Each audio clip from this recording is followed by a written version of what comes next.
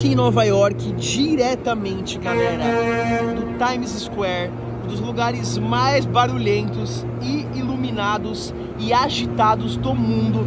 E trago para vocês aqui uma nova fragrância em primeira mão. Quero dizer para vocês desde já que esse é o melhor perfume da linha Asaho Chrome.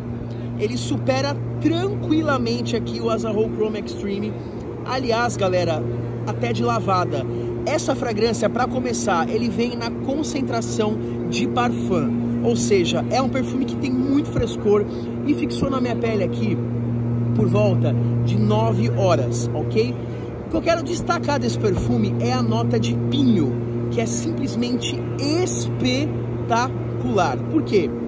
Não é um pinho com algo old school, ele é um pinho totalmente moderno, uh, mas está mais aqui para um cedro, algo verde amadeirado, com um toque orvalhado, do que para aquele pinho que a gente conhece de polo verde, tá? Esquece isso.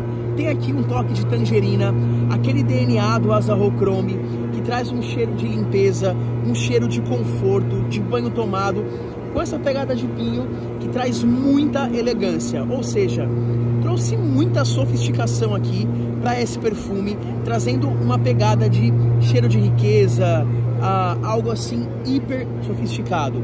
É uma fragrância muito legal para você usar para o dia a dia e também para o trabalho. Vai muito bem também para encontros, vai muito bem para perfume assinatura.